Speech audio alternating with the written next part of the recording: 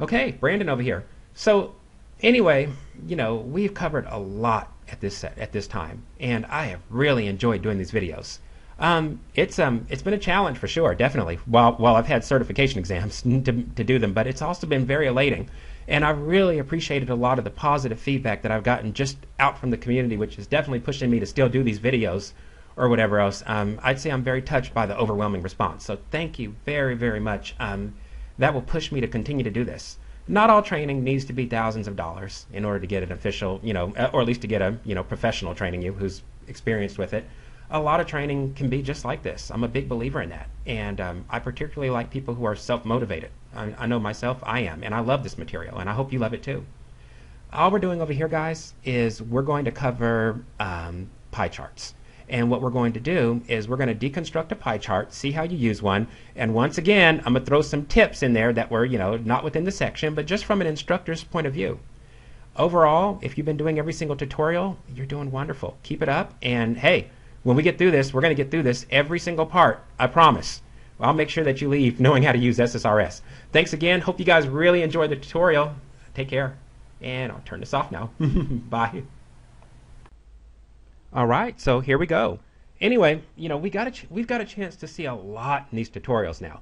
And you've come a very long way, as I've said, eh, basically stepping through every single one.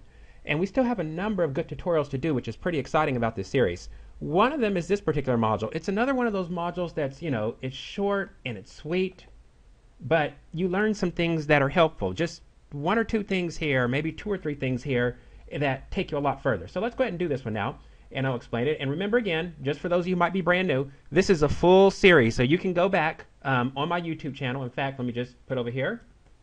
You can see that. Ignore ESPN over there. And just in case you're just finding it, you can come down to my YouTube channel. And if you so like, right there in the playlist, you'll see this is a full series on Report Builder. And remember, what I did was I took Microsoft's um, I took Microsoft's tutorials and did them, so that way you can go back and do them on your own because labs are very effective, so you need the hands-on experience. And I basically added an instructor's touch. So I added base um, I did all of these basically on a video, so you could repeat afterwards. And I also added explanations here. These are excellent tutorials on their own. I felt like with the instructor's touch that really made the show, and it's essentially really becoming a full SSRS course that's free. And I'm very proud of it at this stage. All right, now coming back over here, we're going to do this add a pie chart and see how that's done. So let me click on reports. Then, just as I've been doing before, I made one slight derivation. I installed SharePoint 2013 one night, and I'm doing all my labs from SharePoint 2013. Now, this would work for SharePoint 2013 this would work for Dynamics AX, Dynamics CRM.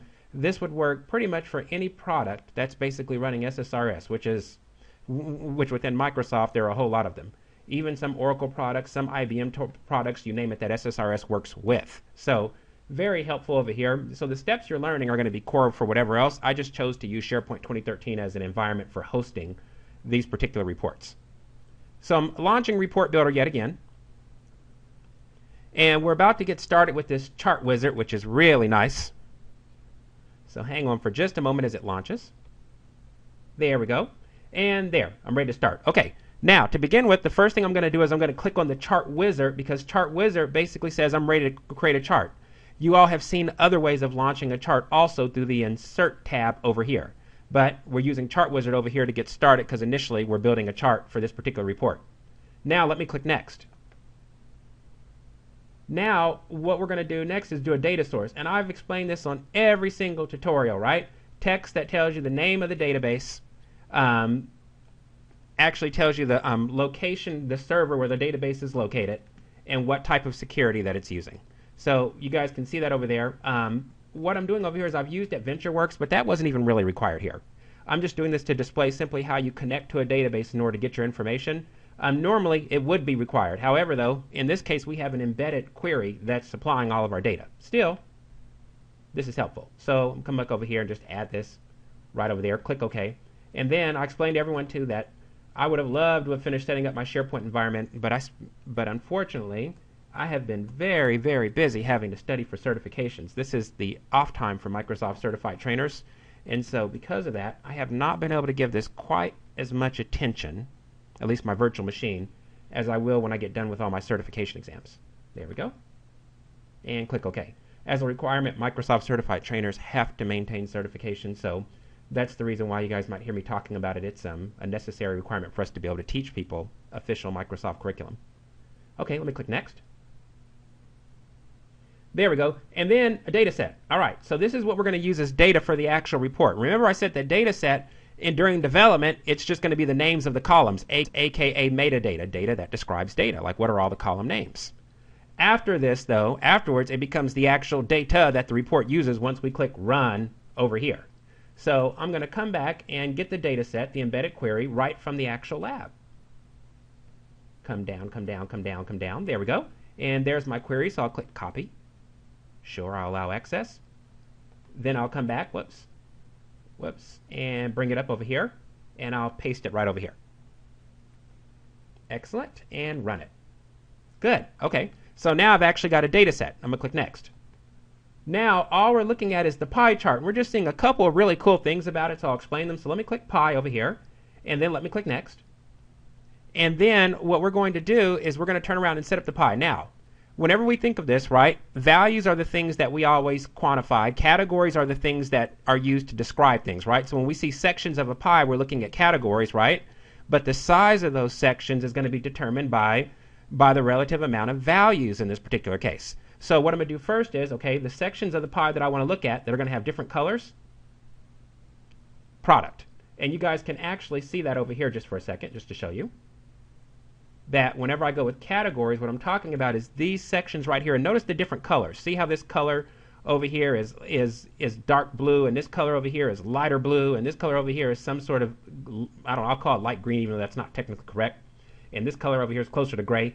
Um, that sort of thing. These different colors are represented by the category. So because we have one, two, three, four, five, you know, or six categories in this particular case, or something close to that, we've got that many slices. So categories mean the number of slices. Now, the proportion of each slice, though, the size of each slice, is going to be determined by the values. So values are what we do in order to get the sizes of each slice within a pie. There we go. So we're going to look at sales in order to determine our values in this particular case. All right, now, once we've got that done, I'm going to click Next. And right off the bat, we choose a default look and feel, which is known as a, you know, a style, right? These, these basically have pre-configured settings for all these background and border properties and things like that that that basically define the look of the actual of the actual chart. Of course we can change all this. We can go right into the properties and start changing them right in here, essentially, once we have the chart up. But here I'm going to click Finish. There. Okay, now once I've actually got that done, I'm going to click Run just to preview this for a second. and give it just a moment over here and it'll start rendering in just a second on my SharePoint 2013 machine.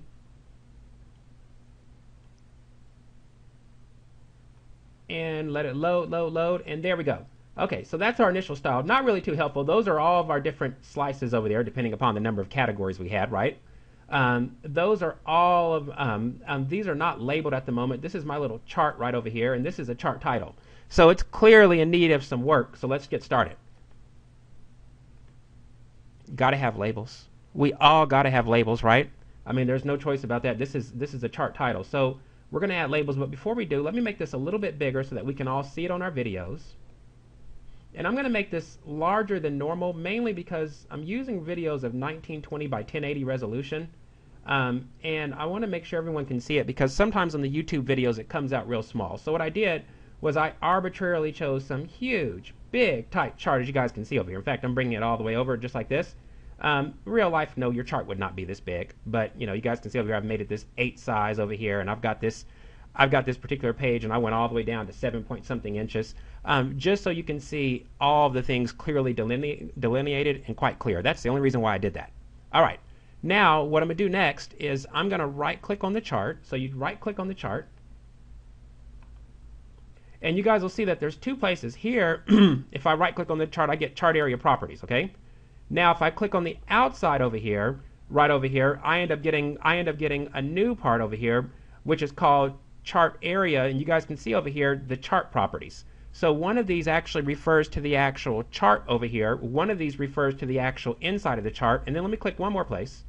Inside of this place, the actual pie its play, itself, and then right click.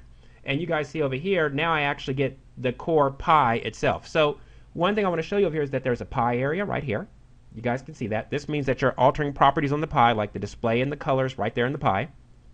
This outside over here, if you see with the border and whatever else that's over here, this outside over here um, covers things like covers things like the axes on the horizontal or the vertical if you need to add that, or how big you want this particular area to be, or if you want some sort of background color rather than white. And then this big area right over here covers the overall feel, as you guys can see, just like that. So when I click over here and you guys see how it kind of switches over, you can see this little thing on the outside. This is the overall feel of the entire chart, so we can do things like change the way these corners appear, stuff like that, add page breaks if we need to. That's sort of what we're doing over there. So we guys can see three different areas over here for basically altering the chart.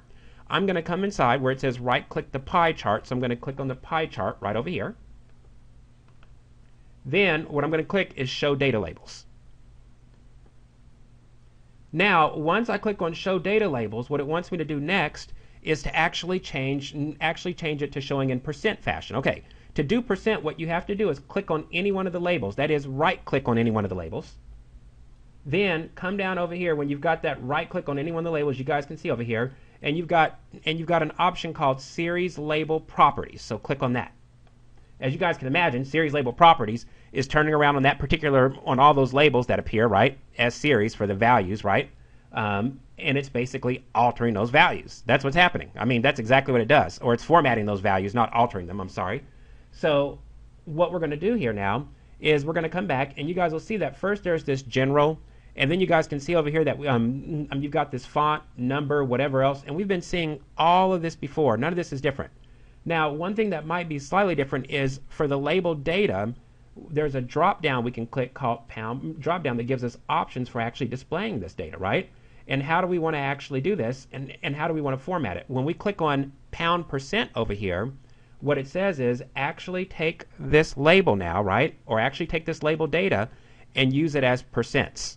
Now, it's not saying, now, a, a common mistake that people make is this they'll come into number and think that if they go number percentage, that's going to make it a percent. No, it won't. It'll take the existing value and then add a percentage on it. So, like if the existing value is 20,000, it'll make it 20,000 percent. That's not what we want. Instead, what we want to do is we go into label data, and that says calculate all of this as a percentage. So remember that distinction right over here. Label data is where we calculate these charts as percentages, as opposed to as opposed to label um, number, where we actually display it as a percent, where it goes two decimal places back essentially, and then gives a percentage. Okay, now once we click on label data, we got a confirm message warning us, letting us know that it's going to actually calculate a real percentage. So it's going to take those values and essentially, you know, um, it's going to divide each one of them essentially, and then relative to 100%, we're going to see the relative, you know, percentage of values that actually fall through for sales value. So how much of sales value fell in here? How much of the total sales value fell for this category?